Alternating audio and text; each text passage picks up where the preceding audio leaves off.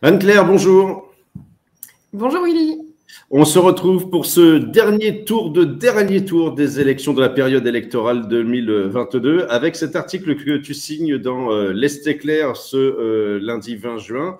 Euh, Valérie Bazin-Malgras, le Parti des Républicains, l'exception, effectivement, deuxième circonscription, c'est la seule circonscription qui a, pas, qui a échappé au Rassemblement national.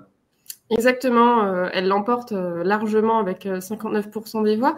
Et ça fait d'elle une exception parce que les deux autres circonscriptions ont donc été remportées par le Rassemblement national.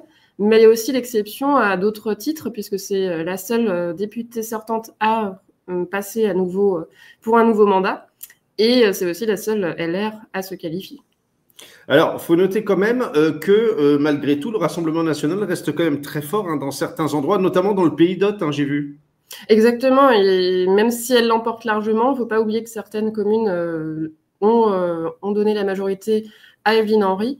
Euh, il y a par exemple Herville-Châtel qui est juste entre les deux. elle a deux voix qui, lui permettent de l'emporter, Valérie Bazin-Malgras, mais c'est vraiment de justesse. Et on a d'autres communes, où, par exemple Estissac, où c'est très net, c'est le Rassemblement national qui l'emporte.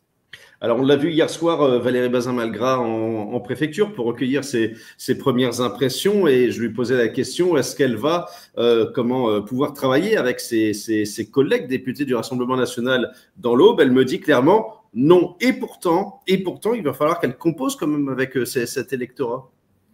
Exactement, même si pour elle c'est impossible de, dialoguer avec le RN elle nous le disait aussi hier soir, c'est qu'elle va prendre euh, acte de, de ce vote-là, parce qu'il traduit quelque chose. Pour elle, il traduit une colère, colère qu'il faut entendre et euh, qu'il va falloir porter aussi devant l'Assemblée nationale via d'autres propositions, selon elle.